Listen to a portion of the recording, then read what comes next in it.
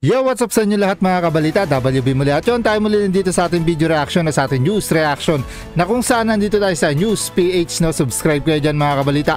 At ito na mga kabalita, Justin Shocking TBJ umani ng suporta GMA7 na lusos sirap ng magpaliwanag, tinuldukan, talo na. At yun, play na natin kung ano lalaman ito.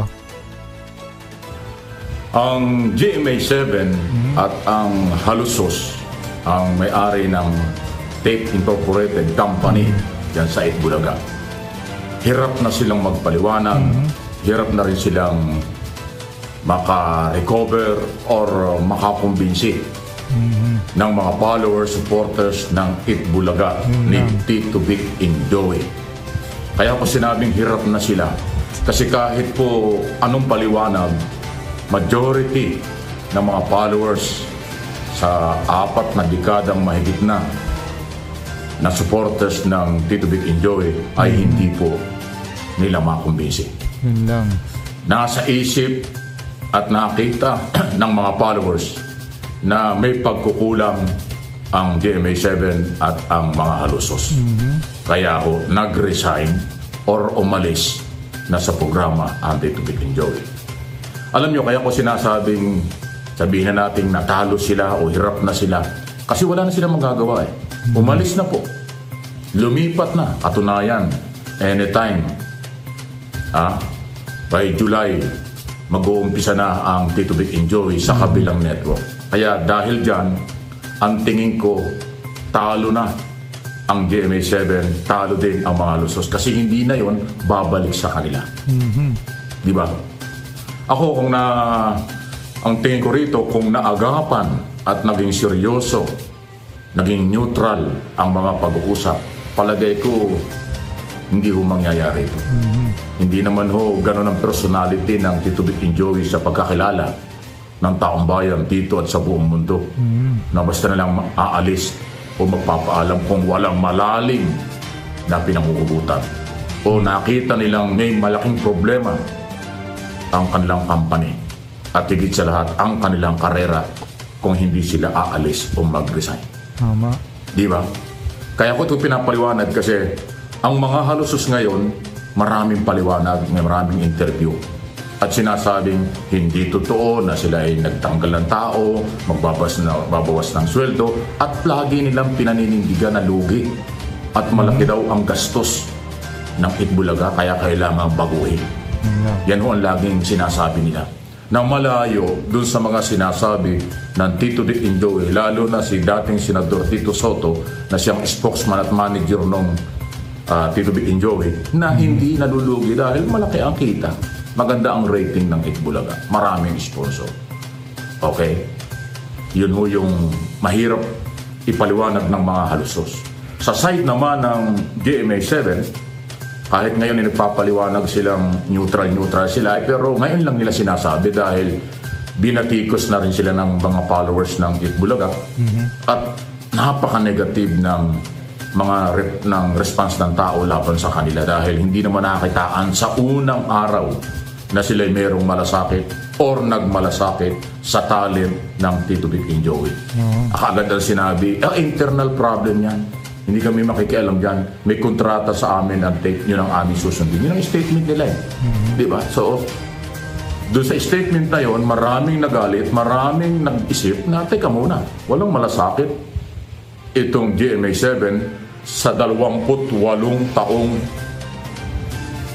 nag-broadcast na programa ang Itbulaga under Tito Vic Joey na kumita naman ng malaki. Di ba? Oo. O ngayon, dahil nga may mga batikos, nagpapaliwanag sila, ganito, ganito, hindi na ako matanggap. Kaya inuulit ko, talo na sila. Hindi nila makre-recover. Hindi nila mababawi ang Tito Big Enjoy. Dahil nga nakapirma na doon sa kabila. Magsisimula na sila. Yun po yung sinasabi kong pagkatalo nila. Ngayon, hanggang paliwanag na lang sila ng paliwanag. Ang problema, hindi naman paniwalaan ng tao. Dito ho sa show business, ang mahalaga dito ay followers, viewers, supporters, mamamayang Pilipino. Kasi sila ang buhay ng isang TV program. Pag wala yung viewers, walang nanonood, walang kwenta ang program. Tama. Pag sila naman ay nandyan, kahit anong mangyari, Yan ang kailangan. At nakuha ng Itbulaga, nanatili at mukhang dadami pa. Dahil sa tingin at pakiramdam ng mga nanonood, underdog, nargabyado, naging kawawa ang Tito Vic and Joey. Dahil nga noong May 31, pumasok sila, off the air na.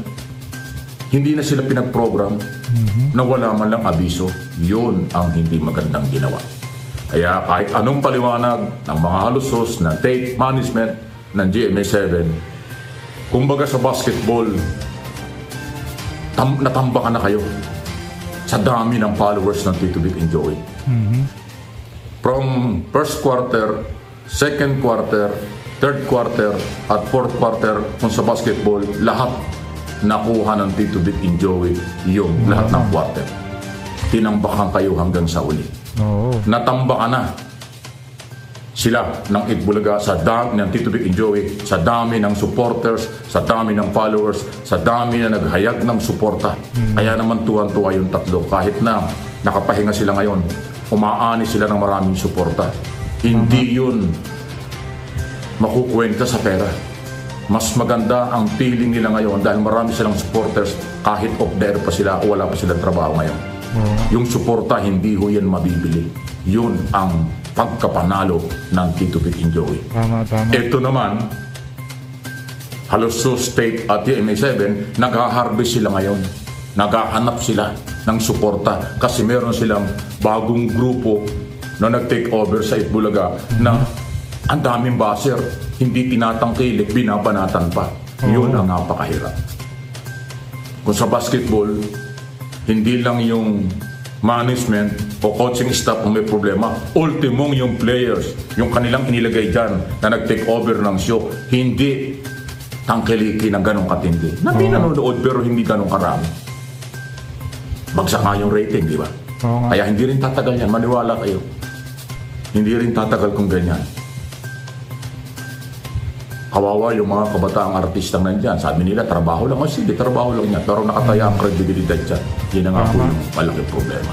So, sana itong nangyaring ito, hindi naman tayo nagmamagaling at ang channel na ito, maging aral ito.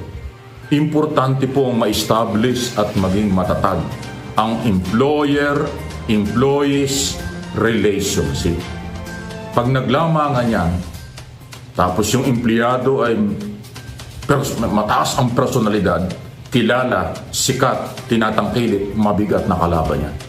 Pag iniwang kayo ng, empl- ng employees, iiyak ang employer. Dahil yung employees na and Joey, eh, may market, may followers, supporters, yun po. Kaya i- i- nihahalimbawa ko na dapat patatagin, dapat sa marami mga producer, management, nag-handle ng mga program, alagaan nyo ang mga talent nyo. Palakasin nyo ang inyong relasyon.